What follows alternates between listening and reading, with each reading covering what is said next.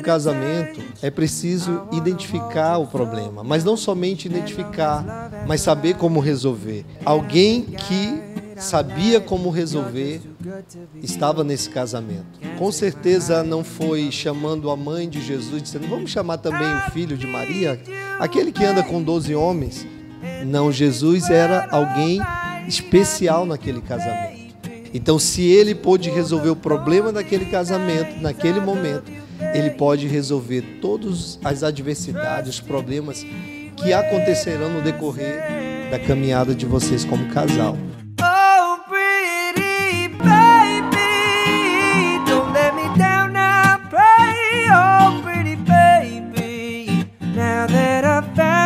stay and